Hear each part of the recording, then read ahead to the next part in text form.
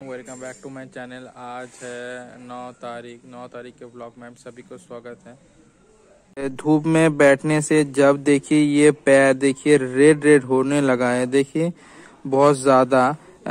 Tan हो तो कोई प्रॉब्लम नहीं है। टैन में कोई प्रॉब्लम नहीं होता। जब ये रेड रेड होने लगे, जैसे रेड रेड होने लगे, और देखिए, ये देखिए रेड रेड हो रहा है और कुछ फुंसियाँ निकल रही हैं।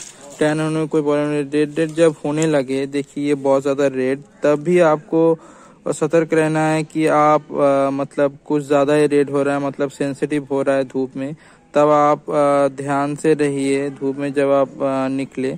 तो वो आप ध्यान रखेंगे तो अच्छा होगा ताकि कोई एलर्जी ना हो और और टैन होने में कोई प्रॉब्लम नहीं है। तब भी विटामिन डी मिलता है कुछ ज़्यादा समय रखते हैं बट ये रेड हिस्सा जब हो तो वो अच्छी बात नहीं है, क्योंकि आप बहुत ज़्यादा सेंसिटिव हो चुका है ये हिस्सा कोई भी सफ़ेद हिस्सा जो रहता है तो उससे आपको बच के रहना है। जब रेड रेड हो, आपको तो फिर 10 बजे के बाद के धूप में बैठना है। 10 के 11 पीएम 10 टू 11 पीएम का धूप सबसे अच्छा होता है, और नहाने के बाद बैठे।